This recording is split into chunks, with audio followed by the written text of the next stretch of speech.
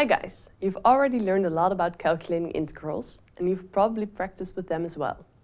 Today I will show you a few useful properties of integrals. They will probably come in handy in the future. We will start with a property that's easy to remember. Say I want to calculate the integral of a function f from a to a. Well, then I would be after the area underneath the graph from, of f from a to a.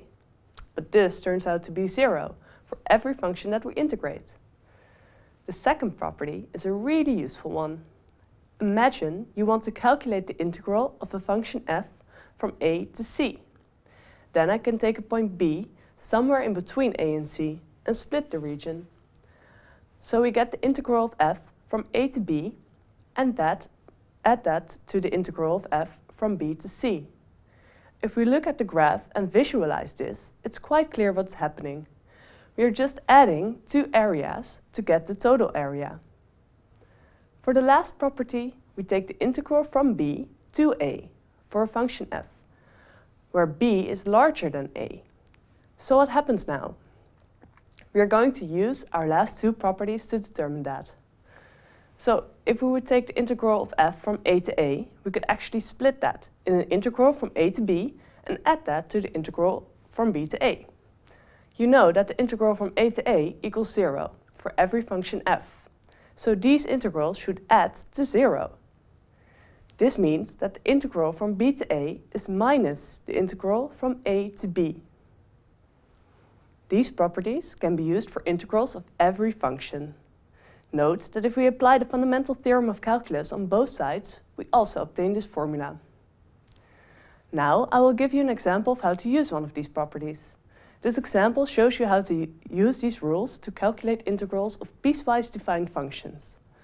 We want to evaluate the integral from minus 1 to 2 of the absolute value of x. If you look at an integral you want to evaluate, the first thing that you will probably do is find a primitive function. But the absolute value of x does not behave the same on the whole interval. As you can see in the graph, the absolute value of x actually has two parts. If x is smaller than 0, then y equals minus x. But if x is larger than 0, then y equals x. So the primitive function of the absolute value of x is different depending on where you are in the interval.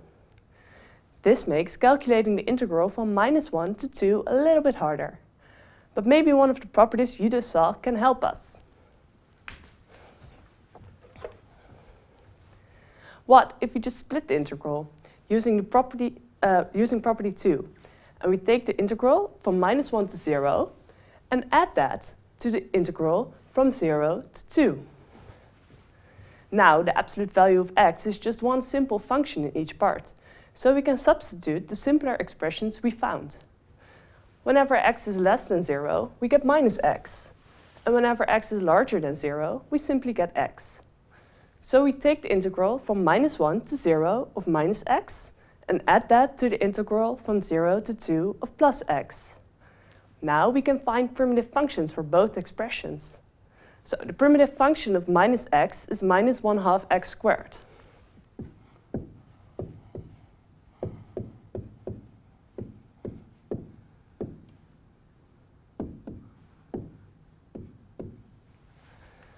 And that of x is 1 half x squared.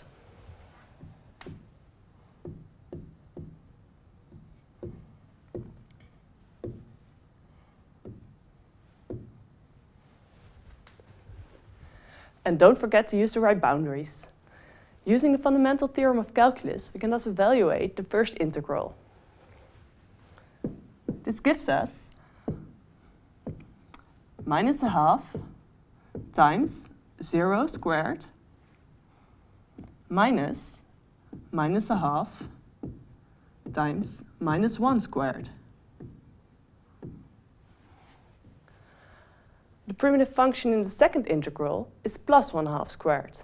Evaluating this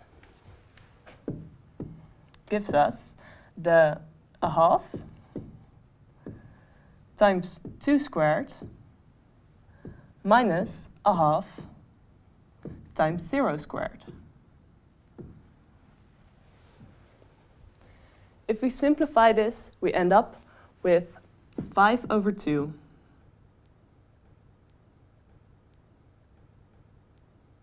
So in summary, you saw three properties. An integral with the same upper and lower bound equals zero for every function. We can split the integral in multiple parts and add them. Interchanging upper and lower bounds of an integral results in adding a minus sign. We use the second property to integrate the absolute value of x.